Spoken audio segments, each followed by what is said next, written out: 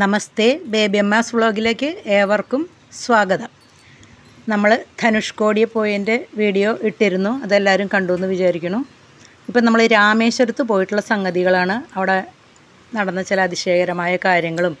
അതുപോലെ നമ്മൾ അവിടെ ചെന്നാൽ പറ്റിക്കപ്പെടാതിരിക്കാൻ എന്ത് ചെയ്യണം എന്നുള്ള സംഗതികളൊക്കെ ഞാനിതിൽ പറയുകയാണ് നമ്മൾ രാമേശ്വരം ആയാലും മധുര മീനാക്ഷി ക്ഷേത്രം ആയാലും നമ്മൾ പോകുന്ന സമയത്ത് നല്ല തിരക്കുള്ള ക്ഷേത്രങ്ങളാണ്. അവിടെ പോകുന്ന സമയത്ത് നമ്മൾ ചിലപ്പോൾ പലതരത്തിലും പറ്റിക്കപ്പെടാം. അത് നടക്കാതിരിക്കാൻ നമ്മൾ എന്ത് ചെയ്യണമെന്നാണ് നോക്കേണ്ടത്. കാരണം തിരക്ക് അനുസരിച്ച് അവിടെ ഏത് തരത്തിലുള്ള ചൂഷണങ്ങളും നടക്കും. അപ്പം നമ്മൾ സാധാരണ ദിവസങ്ങളിൽ പോകാൻ വെച്ചാൽ പ്രശ്നമൊന്നുമില്ല. ഇപ്പോൾ അതാ നമ്മൾ ധനുഷ്കോടിയിൽ കുറേ ടൈം സ്പെൻഡ് ചെയ്തിട്ട് നമ്മൾ നേരെ രാമേശ്വരത്തേക്ക് വരികയാണ്. കുറച്ച് ദൂരമുള്ള രാമേശ്വരത്തേക്ക് പക്ഷേ അവിടെ ഭയങ്കര തിരക്കുണ്ടായിരുന്നു. അതുകൊണ്ട് തന്നെ നമുക്കവിടെ എത്തിപ്പെടാൻ ലേറ്റായി ഹോട്ടലിൽ എത്തിയപ്പോൾ ഹോട്ടലിലുള്ളവർ തന്നെ പറഞ്ഞു ഇപ്പോൾ അമ്പലം അടച്ചിട്ടുണ്ടാവും എന്ന് പറഞ്ഞു. കണ്ടോ? ഇത് തെക്കേ ഗോപുരമാണ് എന്നാൽ പോലും ഒന്ന് കുളിച്ചിട്ട് രാത്രിയിലത്തെ അവിടുത്തെ വിളക്കുകളും അതുപോലെ ആ ലൈറ്റൊക്കെ ഒന്ന് കാണാമെന്ന് വിചാരിച്ച് ഞങ്ങൾ ജസ്റ്റ് പോയി നോക്കി. പോയി നോക്കിയപ്പോൾ അവിടെ സെക്യൂരിറ്റി പറഞ്ഞു അയ്യോ കടത്തി വിടില്ല കാരണം അമ്പലം അടച്ചു. കണ്ടോ? അമ്പലം അടച്ചു. അതുകൊണ്ട് ഇനി നിങ്ങൾക്ക് തൊഴാൻ സാധിക്കില്ല എന്ന് പറഞ്ഞു. അപ്പോൾ ശരി നമ്മൾ അവിടെയൊക്കെ ഒന്ന് ചുറ്റുപുറമൊക്കെ ഒന്ന് നടന്ന് കാണാം. പിറ്റേ ദിവസം നമ്മൾ രാവിലത്തെ ദർശനത്തിന് മുമ്പ് ഭയങ്കര തിരക്കായിരിക്കും. അപ്പം നമുക്ക് സ്വസ്ഥമായിട്ടൊന്നും കാണാൻ സാധിക്കില്ല. അതുകൊണ്ട് രാത്രി ഒന്ന് കാണാമെന്ന് വിചാരിച്ച് അതിന്റെ ചുറ്റുമൊക്കെ ഒന്ന് നടന്ന് കാണുകയാണ് നമ്മൾ. ആ സമയത്ത് നമുക്ക് അതിശയകരമായ സംഗതി എന്ന് പറയണത് പെട്ടെന്ന് ആ അമ്പലത്തിന്റെ കോറിഡോറുണ്ട് കോറിഡോർ പ്രസിദ്ധമാണ് അല്ലേ? ഇന്ത്യയിലത്തെ തന്നെ ഏറ്റവും വലിയ ഇടനാഴിയാണ് രാമേശ്വരത്തുള്ള ഇടനാഴി. ആയിരത്തി ഇരുന്നൂറ്റി ചില്ലാനം തൂണുകളുണ്ട് അവിടെ അത്ര ഫേമസ് ആണ്. അതൊക്കെ പതുക്കെ നടന്ന് നോക്കാമെന്ന് വിചാരിച്ച് ഞങ്ങളിങ്ങനെ പോവുകയാണ് ആ പോകുന്ന സമയത്ത് അതിന്റെ ഉള്ളിൽ രണ്ട് ഷോപ്പ് ആ കോറിഡോറിൽ അപ്പോൾ അതിന്റെ ഉള്ളിലേക്ക് ഒന്നും ഫോട്ടോഗ്രാഫി അലൗഡ് അല്ല. എന്നാൽ പോലും ആരും ഇല്ലല്ലോ എന്ന് വിചാരിച്ച് ജസ്റ്റ് ഒന്ന് എടുത്തതാണ് കേട്ടോ ഇത്. അപ്പോൾ ചിലരൊക്കെ എടുക്കുന്നത് കണ്ടു. അതുകൊണ്ട് ചെയ്തതാണ് ഇതാണ് ആ ഫേമസ് കോറിഡോർ അപ്പോൾ എല്ലാ ദിക്കിലേക്ക് നോക്കുമ്പോഴും ഇതുപോലത്തെ കോറിഡോഴ്സാണ് അതാണ് ഭയങ്കര കാണേണ്ട ഒരു വിസ്മയമാണ് അത്. അപ്പോൾ അങ്ങനെയുള്ള സമയത്ത് അവിടെ രണ്ട് ഷോപ്പ് അതിന്റെ ഉള്ളിൽ ഈ കോറിഡോറിൽ അപ്പോൾ അവർ പറഞ്ഞു അയ്യോ വേഗം പോയാൽ നിങ്ങൾക്ക് ആരതി ദർശിക്കാമല്ലോ എന്ന് പറഞ്ഞു. അത് ഭയങ്കര ഒരു അതിശയായി. ഞങ്ങൾ വേഗം ഓടിച്ചെന്ന സമയത്ത് അവിടെ ഉള്ള കുറച്ച് പേരെ വെച്ച് അവിടെ ആരതി നടക്കുകയാണ്. അമ്പലം അടച്ചിട്ടുണ്ടായിരുന്നില്ല ശരിക്കും. അതുകൊണ്ട് ഞങ്ങൾക്ക് സുഖമായിട്ട് ആരതി ദർശിക്കാനോ അതുപോലെ പള്ളിയറയിലേക്ക് ഭഗവതി ഭഗവാനെ കൊണ്ടുപോണ ഒരു സംഗതിയൊക്കെ ഉണ്ട്. അത് കാണാനും അതുപോലെ ഭയങ്കരമായിട്ടുള്ളൊരു നന്ദിയുടെ നന്ദി നന്ദി നന്ദിയുടെ ഒരു പ്രതിഷ്ഠയുണ്ട്. അതൊക്കെ സ്വസ്ഥമായിട്ട് കാണാനും സാധിച്ചു ഉം. ഇത് നോക്കൂ പിന്നെ പിറ്റേ ദിവസം അതുപോലെ തന്നെ സ്ഫടികലിംഗ ദർശനം എന്ന് പറഞ്ഞാൽ അത് ഫേമസ് ആണ്. അത് നമുക്ക് വെളുപ്പിന് മൂന്നരയ്ക്ക് പോകണം ഉണർന്ന് കഴിഞ്ഞിട്ട് കുളിച്ച് പോയാലാണ് നമുക്കത് സാധിക്കുള്ളൂ. സ്ഫടികലിംഗ ദർശനം എന്ന് പറയും. അത് അതിന്റെ തിരക്കാണ്. ഇത് കണ്ടോ? ഇവിടെയൊക്കെയാണ് നമുക്ക് എന്താ പറയുക ഞാൻ നേരത്തെ പറഞ്ഞ പോലെ ഭയങ്കര തിരക്കായിരുന്നു. കാരണം എന്താ വെച്ചാൽ ഈ റിപ്പബ്ലിക് നിരത്തിന്റെയൊക്കെ ഒഴിവ് കാരണം നോർത്തിൽ നിന്നൊക്കെ നിറയെ ആൾക്കാർ വന്നിട്ടുണ്ടായിരുന്നു. അത് കാരണം അവിടെ ടിക്കറ്റ് ഉണ്ടായിരുന്നു. അഞ്ഞൂറ് രൂപ ടിക്കറ്റ് വെച്ചിട്ടാണ് അവർ എന്താ പറയുക പെട്ടെന്ന് പോകേണ്ടവർക്ക് അങ്ങനെ ടിക്കറ്റ് എടുത്താൽ എളുപ്പത്തിൽ കയറാമെന്ന് പറഞ്ഞിട്ട് അങ്ങനെ കോമൺ ക്യൂ ഒന്ന് അങ്ങനെയൊക്കെ ഉണ്ട്. അതാണ് ഞാൻ പറഞ്ഞത്. ഇങ്ങനെയുള്ള ദിവസങ്ങളിൽ പോയാൽ അത് ശ്രദ്ധിച്ചിട്ട് പോകണം നമ്മൾ കണ്ടോ? അപ്പോൾ അവിടെ സ്ഫടികലിംഗ ദർശനം എന്നാണ് അത് പറയുക. അത് നാലര മുതൽ ആറ് വരെയാണ്. ഒന്നര മണിക്കൂറാണ് അതിന്റെ സമയം. അതും സുഖമായിട്ട് നമുക്ക് തൊഴാൻ സാധിച്ചു. ടിക്കറ്റ് എടുത്താൽ പോലും നമുക്കത് സാധിക്കില്ല എന്നാണ് പറയുന്നത്. കാരണം നമുക്ക് ഒന്നും പറയാൻ പറ്റില്ല. ആ സമയം കഴിഞ്ഞാൽ അത് നിർത്തിവെക്കും. അതുപോലെ ഇത് നോക്കൂ. ഇനി നമ്മൾ അതൊക്കെ കഴിഞ്ഞ് സ്വസ്ഥമായിട്ട് തൊഴുത് ബലിയിടാനുള്ള പോക്കാണ് കണ്ടത്. അവിടെ ഒരു സേവാ ട്രസ്റ്റിന്റെ ഒരു സത്രം കണ്ടു. അവിടെ ആൾക്കാർക്ക് വേണമെങ്കിൽ താമസിക്കാം ഫ്രീ ആയിട്ടെന്നൊക്കെ പറയണു. അത് നമ്മളങ്ങനെ കണ്ടു. നമ്മളിനി പോകുന്നത് രാമേശ്വരം ആ കടലിന്റെ സൈഡിലൊക്കെയാണ്. അഗ്നി തീർത്ഥം എന്നാണ് പറയുക അഗ്നി തീർത്ഥം അഗ്നി തീർത്ഥത്തിൽ ആദ്യം നമ്മൾ ഈ കടലിൽ മുങ്ങി കുളിച്ച് അതിന് ശേഷം വേണം നമ്മൾ ബലിയിട്ട് ബലിയിടുന്നവർക്ക് ബലിയിടുക അല്ലെങ്കിൽ കുളിച്ചിട്ട് നമ്മൾ പിന്നെയാണ് നമ്മൾ രാമേശ്വരത്തിന്റെ ക്ഷേത്രത്തിന്റെ ഉള്ളിലുള്ള ഇരുപത്തിരണ്ട് തീർത്ഥ കിണറുകളുണ്ട് അതിലുള്ള സ്നാനം. ഇതാണ് ആദ്യം വേണ്ടത്. ഈ അഗ്നി തീർത്ഥം കണ്ടോ? ഈ അഗ്നി തീർത്ഥത്തിലേക്ക് എത്തുന്നതിന് മുമ്പ് ഒരു ഗണപതി കോവിലുണ്ട്. അതുപോലെ തന്നെ കുറേ എന്താ പറയുക ഈ കമാനം പോലെ കെട്ടിയുണ്ടാക്കിയിട്ടുണ്ട് ഓരോന്നും ഓരോ കവാടമാണ് ഓരോ കവാടങ്ങൾ കണ്ടോ? കാണാൻ സാധിക്കുന്നുണ്ടെന്ന് വിചാരിക്കണു ഈ കവാടങ്ങൾ അഗ്നിതീർത്ഥം ഇതാ എഴുതി വെച്ചിരിക്കണു കണ്ടോ? അഗ്നിതീർത്ഥം എന്ന് പറയണ ഈ കടലിലെ ഈ സ്നാനത്തിനാണ് പറയണത്. ആ അഗ്നിതീർത്ഥത്തിൽ നമ്മൾ എത്തി. കണ്ടോ?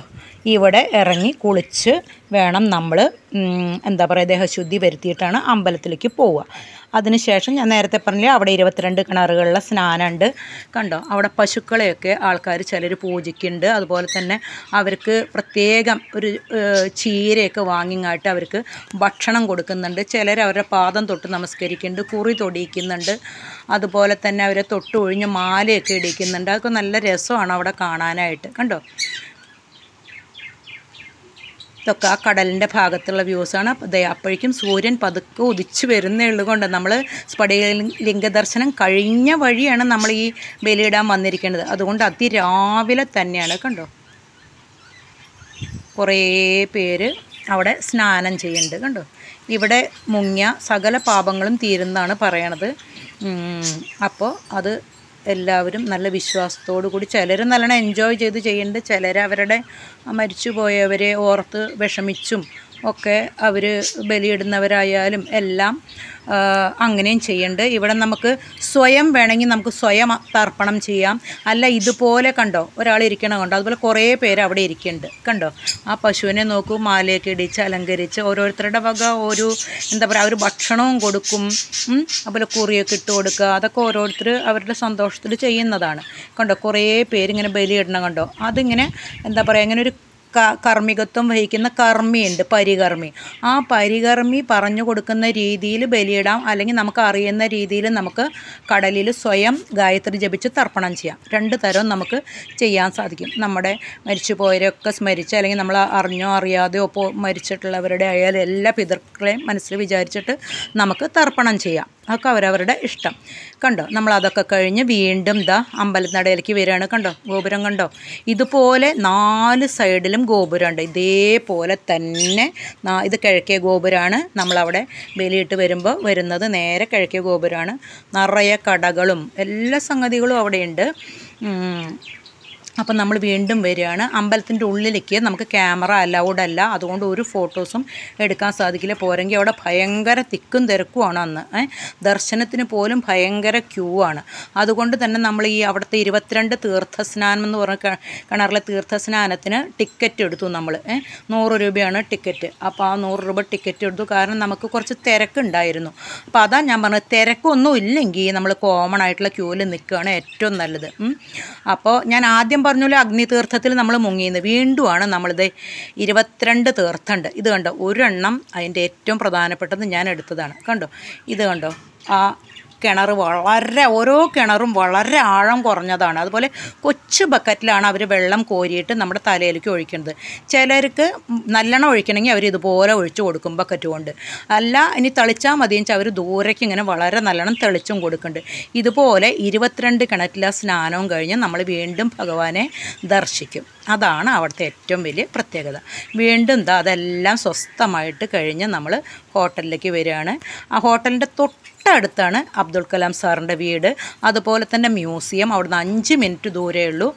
അതൊക്കെ വളരെ നല്ല നമുക്ക് പോയി കണ്ട് അറിവ് കിട്ടാനും നമുക്ക് അവിടെ ബുക്സൊക്കെ വാങ്ങാം. അതുപോലെ കുറേ ഷോപ്പ് ഉണ്ട് ആർക്കേഡ് ഉണ്ട് അവിടെ. അവിടുന്ന് നമുക്ക് കുറേ സംഗതികൾ വാങ്ങാൻ സാധിക്കും. അങ്ങനെയൊക്കെയുള്ള ഇതാണ്. നല്ലതാണ് കോറിഡോറ് നല്ല ഒരു എന്താ പറയുക ഭംഗിയുള്ള ഒരു കോറിഡോറ് അതിന്റെ ഉള്ളിലുള്ളതാണത്. അവിടെയൊന്നും പ്രശ്നമൊന്നുമില്ല. അമ്പലത്തിൽ മാത്രമാണ് ഫോട്ടോഗ്രാഫിക്ക് നിരോധനമുള്ളൂ. അതുപോലെ തന്നെ ഇതാ കണ്ടോ? ഇതൊക്കെ കലാം സാറിന്റെ ഓർമ്മകളാണ്. ഇതാ പ്രതിമ. ഇത് കഴിഞ്ഞ് നമ്മൾ നേരെ പോകുന്നത് പഞ്ചമുഖി ഹനുമാൻ ടെമ്പിളിലേക്കാണ് ഉം. അവിടെ ഇതുപോലെ തന്നെ പുതിയൊരു പ്രതിഷ്ഠയുണ്ട്. ഇതാ കണ്ടോ നേരെ കാണുന്നത് പുതിയ പ്രതിഷ്ഠയാണ്. റോഡ് സൈഡിലേക്ക് ബാക്കാണ് കാണുന്നത്. അപ്പുറത്തേക്ക് തിരിഞ്ഞു ചെന്നാലാണ് ഫ്രണ്ട് കാണുള്ളൂ. അതുപോലെ ഉള്ളിൽ പുതിയ പഴയ കുറേ വർഷത്തെ പഴക്കം പറഞ്ഞു. അങ്ങനെ ഒരു വിഗ്രഹമുണ്ട്. അതുപോലെ തന്നെ അവിടെ എന്താ പറയുക രാമേശ്വരത്ത് പൊന്തിക്കിടക്കുന്ന പാറകൾ അവിടെ കുറേ വാട്ടർ ടാങ്ക് പോലെ ഉണ്ടാക്കിയിട്ട് അതിൽ ഇട്ട് വച്ചിട്ടുണ്ട്. നമുക്കത് കാണിച്ചു തരും അവർ അവിടെ പൂജയൊക്കെ ഉണ്ട്. അതിന്റെ ഉള്ളിലും നമുക്ക് കണ്ടോ ഇവിടെ വരെ ഈ എന്താ പറയുക ഗേറ്റിന്റെ ഈ സൈഡ് വരെ മാത്രമേ ഫോട്ടോ അലൗഡ് ഉള്ളൂ. ഉള്ളിലേക്ക് ഫോട്ടോ അലൗഡ് അല്ല. അതുകൊണ്ട് നമുക്ക് എടുക്കാൻ സാധിക്കില്ല. അവിടെയും നല്ല സമാ അവിടെ തിരക്കൊന്നും ഉണ്ടായിരുന്നില്ല. വളരെ സമാധാനമായിട്ട് തൊഴാൻ സാധിച്ചു. ഇനി നമ്മൾ വിചാരിച്ചു രാമേശ്വരത്തെ പാമ്പൻ പാലത്തിന്റെ മീതക്കോടെ ഒന്ന് ട്രെയിനിൽ വന്നിട്ട് മണ്ഡപം സ്റ്റോപ്പ് എന്ന് പറഞ്ഞിട്ടൊരു സ്റ്റോപ്പുണ്ട്. അവിടെ ഇറങ്ങിയിട്ട് നമുക്ക് വീണ്ടും കാറിൽ കയറി പോരാൻ കാർ അവിടെ വെയിറ്റ് ചെയ്യിക്കാം എന്ന് വിചാരിച്ചു. പക്ഷേ അവിടെ ചെന്നപ്പോൾ അറിയാൻ കഴിഞ്ഞത്. അവിടെ പാലം പണി നടക്കുന്ന കാരണം ട്രെയിൻ ഈ പാലത്തിന്റെ മീതെ കൂടെ പോകുന്നില്ല. അപ്പോൾ അതുകൊണ്ട് മണ്ഡപം സ്റ്റോപ്പ് മുതൽ ട്രെയിനുള്ളൂ. അതുവരെ ട്രെയിൻ ഇല്ല എന്ന് പറഞ്ഞു. ഇത് അവിടുത്തെ റെയിൽവേ സ്റ്റേഷനാണ് രാമേശ്വരം റെയിൽവേ സ്റ്റേഷൻ. അപ്പോൾ ഞങ്ങൾ എന്ത് ചെയ്തു എന്ന് വെച്ചാൽ ശരി അപ്പോൾ ട്രെയിനിന് പോ കുറച്ച് ദൂരം പോകാമെന്ന് വിചാരിച്ചു. പാലത്തിന്റെ മീതെ കൂടെ പോകണം എന്നുള്ളത് കുട്ടികളുടെ ഒരു ആഗ്രഹമായിരുന്നു. അത് സാധിച്ചില്ല. അപ്പോൾ ഞങ്ങൾ അങ്ങനെ പോരുന്ന വഴിക്ക് പിന്നെ ഇനി അവിടെ ഒരു തിരുമല നായ്ക്കർ പാലസ് എന്ന് പറഞ്ഞൊരു പാലസ് ഉണ്ട്. അവർക്ക് പോകണം പോകാനാണ് വരുന്നത്. പക്ഷേ ആ വഴിയിൽ ഇങ്ങനെ വരുന്ന വഴി ചെപ്പക്കുളം എന്ന് പറഞ്ഞിട്ടൊരു സ്ഥലമാണെന്ന് പറയണു അവിടെ ഇങ്ങനെ ഭയങ്കര ഒരു എന്താ പറയുക ഒരു തടാകം പോലെ കണ്ടു. അപ്പോൾ തടാകം പോലെ കണ്ടപ്പോൾ അവിടെ ബോട്ടൊക്കെ നിൽക്കുന്നത് കണ്ടു. നല്ല ഒന്നര മണി രണ്ട് മണി സമയമൊക്കെ ആയിരുന്നു. അപ്പോൾ അവരത് നിർത്തി വെക്കുകയാണെന്ന് പറഞ്ഞു. പതിനാറ് പതിനേഴ് പേരുണ്ടെങ്കിൽ പോവുള്ളൂ എന്നാണ് പറഞ്ഞത്. അപ്പം ഞങ്ങൾ പറഞ്ഞു സാറില്ല ഞങ്ങൾ ഒരു ആറ് പേരുണ്ടല്ലോ. അപ്പോൾ ഇനി ബാക്കിയുള്ളവരുടെ പൈസ ഞങ്ങൾ തരാം എന്ന് പറഞ്ഞപ്പോഴേക്കും ഞങ്ങൾ ബോട്ടിലേക്ക് കയറിപ്പോൾ എവിടെ നിന്നാണെന്ന് അറിയില്ല കുറേ പേര് വന്ന് കയറി. അതുകൊണ്ട് ആ ബോട്ട് വളരെ സുഖമായിട്ട് എടുക്കാൻ സാധിച്ചു. അതെങ്ങനെയാണെന്ന് വെച്ചാൽ ഈ ഒരു അമ്പലമാണ് അത് മാരിയമ്മൻ കോവിലാന്ന് പറയണു ആ അമ്പലത്തിന്റെ ചുറ്റും അമ്പലം നടുക്കാണ്. ഈ തടാകത്തിന്റെ നടുക്കാണ് അമ്പലം. അപ്പോൾ അത് എന്താ പറയുക രാവിലെയും വൈകുന്നേരമൊക്കെ പൂജ ഉണ്ടെന്ന് പറയണു. ശനിയാഴ്ച ദിവസം അവിടെ ഭയങ്കര വിശേഷമാണെന്ന് പറയണു. ആ സമയത്ത് മധുരമീനാക്ഷിയുടെ ഒരു എന്താ പറയുക പ്രതിഷ്ഠ അവിടേക്ക് ചങ്ങാടത്തിൽ കൊണ്ടുവരും. ഭയങ്കര ലൈറ്റ് അറേഞ്ച്മെന്റ് ആണ്. നിറയെ ആളുണ്ടാവും എന്നൊക്കെ പറയണു. കണ്ടോ ഒരു അമ്മുമ്മ ഞങ്ങളുടെ കൂടെ ആ ബോട്ടിൽ കയറിയായിരുന്നു ആ അവരുടെ പേരക്കുട്ടിയാണ് അത് കണ്ടോ? അപ്പോൾ ആ അമ്മമ്മയാണ് പറഞ്ഞത് ഇത് ഭയങ്കര വിശേഷപ്പെട്ട ഒരു സ്ഥലമാണ്. ഇവിടെ ഞങ്ങൾ കുട്ടിക്കാലത്തൊക്കെ വരും ഇവിടെ ആറാട്ടൊക്കെ ഉണ്ടായിരിക്കും. അതുപോലെ ഭഗവതിയുടെ വിഗ്രഹമൊക്കെ ഇവിടെ കുളിപ്പിച്ചെടുക്കും.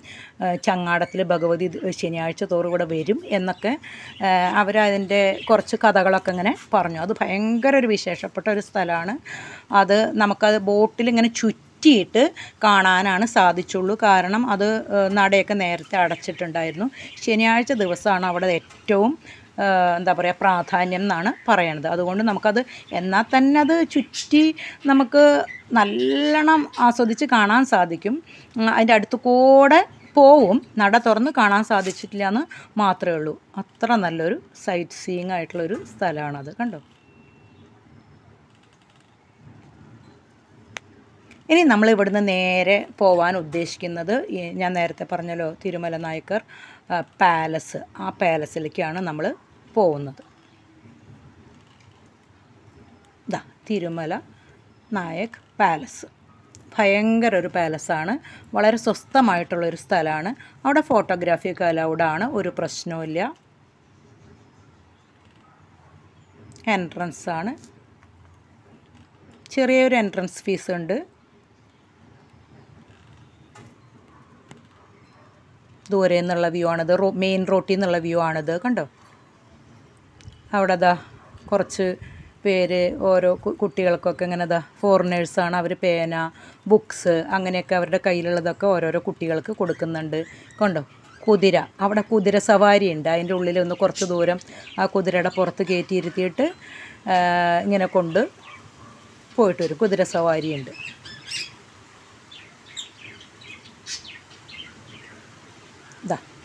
അദ്ദേഹത്തിന്റെ എന്താ പറയുക ശീല അവിടെ സ്ഥാപിച്ചിട്ടുണ്ട്. വളരെ പഴക്കമുള്ളൊരു പാലസാണത്. ആയിരത്തി അറുന്നൂറ്റി അറുന്നൂറിൽ ആണ് അതിന്റെ എന്താ പണി നടന്നിരിക്കുന്നത്. ഇതുണ്ട് അവിടെ സൗണ്ട് ആൻഡ് ലൈറ്റ് ഷോ എല്ലാ ദിവസം രാത്രിയാണ് അതുള്ളത്. പക്ഷെ നമുക്ക് അതിന് സാധിക്കില്ലല്ലോ.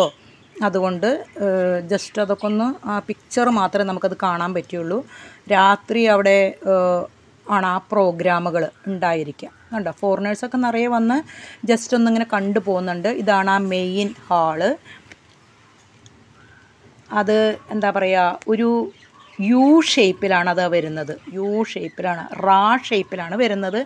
എന്താ പറയുക രണ്ട് സൈഡിലും ഇതുപോലെയാണ്. അതുപോലെ നേരെ നോക്കാണുന്നത് കളർഫുള്ളായിട്ട് നേരെ കണ്ടത് മെയിൻ മണ്ഡപമാണ്. ആ മെയിൻ മണ്ഡപത്തിന്റെ അവിടെ എന്താ പറയുക അവിടെ ഒരു കണ്ട നിറയെ ഫ്രണ്ടിൽ നിറയെ ചെയർ ഇട്ടുണ്ട് ആ ചെയറിലിരിക്കാം. അതുപോലെ തന്നെ രണ്ട് എന്താ പറയുക കോറിഡോർ പോലെ കണ്ടില്ലേ ഹോ ഹോളാണ് അത് വലിയൊരു ഹോളായ തൂണുകൾ ഒരു മൂന്ന് പേര് പിടിച്ചാൽ പിടിയെത്തില്ല.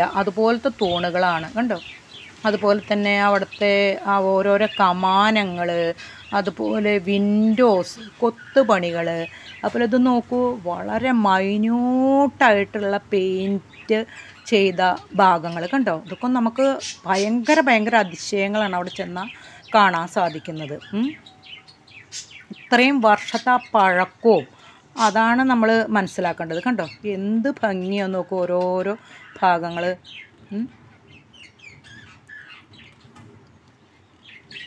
കണ്ടോ? ഇങ്ങനെയാണ് അവിടുത്തെ ആ ചുറ്റും അങ്ങനെയാണ്. ഞാൻ നേരെ കാണുന്നത് ഞാൻ നേരത്തെ പറഞ്ഞ മെയിൻ മണ്ഡപമാണ്. അവിടെയാണ് പരിപാടികൾ പരിപാടികൾ രാത്രി ഉണ്ടാവാറുണ്ടെന്ന് പറയണു അവിടെ ഒരു പല്ലക്കൊക്കെ പല്ലക്കല സിംഹാസനം. സിംഹാസനമൊക്കെ അവിടെ പഴയത് ഇരിക്കണ കണ്ടു. അത് ആരെ ഇരിക്കുകയെന്നറിയില്ല അതൊക്കെ അവിടെ അങ്ങനെ എന്താ പറയുക നല്ലോണം ഫെൻസിങ് ഒക്കെ കൊടുത്ത് പ്രൊട്ടക്റ്റ് ചെയ്ത് വെച്ചിട്ടുണ്ട്. അതുകൊണ്ട് അതിലേക്കൊന്നും ആർക്കും കയറാനൊന്നും സാധിക്കില്ല. കണ്ടോ? ആ നേരെ കാണുന്നത് അതാണ്. പക്ഷേ അവിടെ പരിപാടികൾ നടക്കും എന്ന് പറയണു അതിന് ഈ എന്താ പറയുക ഈ കണ്ടോ വലിയ ഇതിങ്ങനെ നോക്കുമ്പോൾ അങ്ങനെ മനസ്സിലാവില്ല. ഭയങ്കര വലിപ്പമാണ് ഇതിന്. അപ്പോൾ ആ സിംഹാസനം ഞാൻ നേരത്തെ പറഞ്ഞില്ലേ അതാണ് ആ കാണുന്നത്. അപ്പോൾ അവിടെയാണ് സിംഹാസനത്തിന് മുമ്പിൽ പരിപാടികൾ നടക്കും. അതിന്റെ ഫ്രണ്ടിലുമാണ് നമ്മൾ ഈ ചെയറുകൾ കുറേ അറേഞ്ച് ചെയ്തേക്കണ ആൾക്കാർക്ക് ഇരിക്കാൻ. ആൾക്കാർക്ക് ആ ചെയറുകളുമ്പോൾ മാത്രമല്ല രണ്ട് സൈഡിലുള്ള ആ തൂണുകൾ കണ്ടല്ലോ ആ ഹാളിൽ ഇങ്ങനെ നിരന്നിരുന്നാൽ തന്നെ ഇഷ്ടംപോലെ ആൾക്കാർക്ക് അവിടെ ഇരുന്ന് എന്താ സംഗതികളെന്ന് ആസ്വദിക്കാനായിട്ട് സാധിക്കും. ഇത് വളരെ വിശേഷപ്പെട്ട ഒരു സ്ഥലമാണ്. അവിടെ ചെന്നാൽ കാണാൻ പറ്റിയൊരു സ്ഥലമാണ് അത്. നിങ്ങളുടെ സമയം പോലെ ധാരാളം സമയമുള്ളവർക്ക് രാത്രി ആ പരിപാടികൾ അവിടെ എന്താ ഉള്ളതെന്ന് നോക്കിയിട്ട് പോരാൻ സാധിക്കും. ഞങ്ങൾക്ക് അത്ര സമയം ഉണ്ടായിരുന്നില്ല. രണ്ട് രണ്ട് ദിവസത്തെ യാത്രയിലായിരുന്നു അതുകൊണ്ട് അധികം സമയം ഓരോ വിൻഡോസ് നോക്കൂ. ആ ഹാളിൽ നിറയെ വിൻഡോസാണ് ആ വിൻഡോയുടെ എന്താ പറയുക ചുറ്റും പോലും നല്ല ഇപ്പോഴും ഇത് ട്രെൻഡിങ് ആണ് ഈ ജാളി പോലത്തെ ഈ സംഭവം. ഇത്ര വർഷ പഴക്കമുള്ള സംഗതി ഇപ്പോഴും നമ്മളത് ലേറ്റസ്റ്റ് ഫാഷനാക്കി വീണ്ടും കൊണ്ടുവരുന്നുണ്ട് വീടുകൾക്കൊക്കെ. അതുപോലെ തന്നെ ഇതാ ഇതേപോലത്തെ എന്താ പറയുക ഈ കമാനങ്ങൾ ഇപ്പം നമ്മൾ വീടുകൾക്കൊക്കെ ധാരാളം ഇട്ട് കൊടുക്കുന്നുണ്ട് ഭംഗിക്ക് വേണ്ടിയിട്ട്. അതൊക്കെ ഇത്രയും വർഷം പഴക്കമുള്ള എന്താ പറയുക ആർക്കിടെക്ചർ അത് ആലോചിച്ച് നോക്കിയാൽ നമുക്ക് അറിയാവുന്നതാണ്. കണ്ടോ? ആ തൂണുകളുടെ വലിപ്പം കണ്ടോ?